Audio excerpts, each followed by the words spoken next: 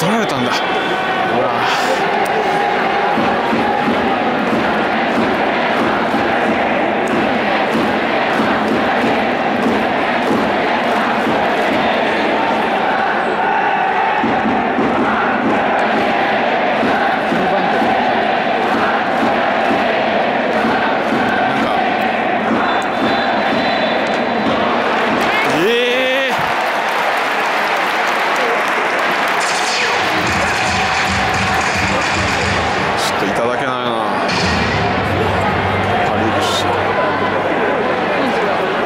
リバウンドっていうのはアウトを1個上げる代わりにあのボールを転がしてその間にランナーを進める。だから先に行ってくれた方がかえってきやすいからアウトを上げるけどその後に得点しやすければいいよねでも3回失敗すると三振を使わないの今3回失敗したから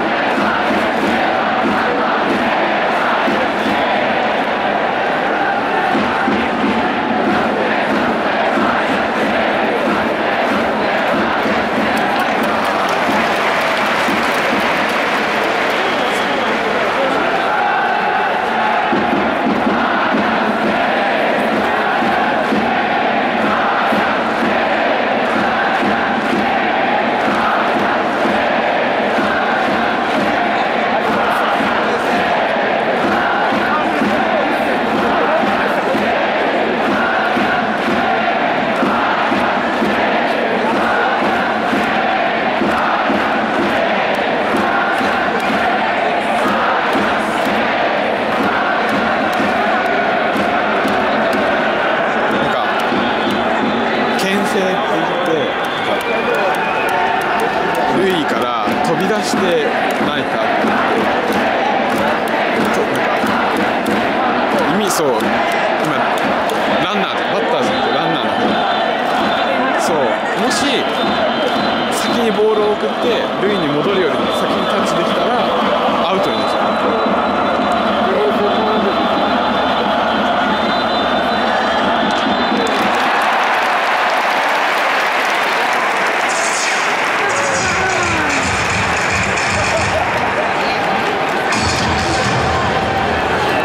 打てそうで打てないの何なんだろうこれ。